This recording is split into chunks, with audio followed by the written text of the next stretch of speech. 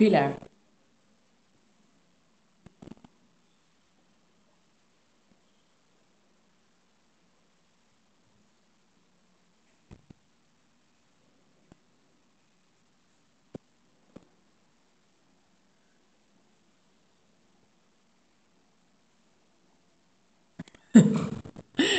today is my 29th birthday, and I'm in Berlin.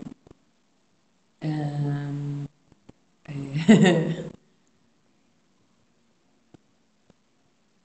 and I, I we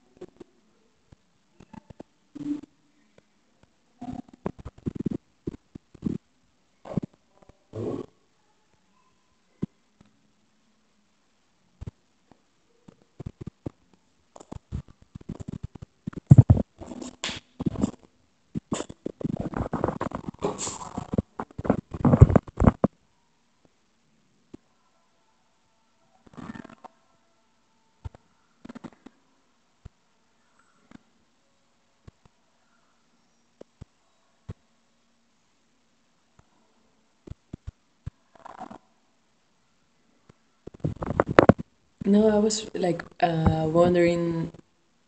It's it's really awkward. I think the world is going in this direction of feeling and experiencing experiencing something that is not happening.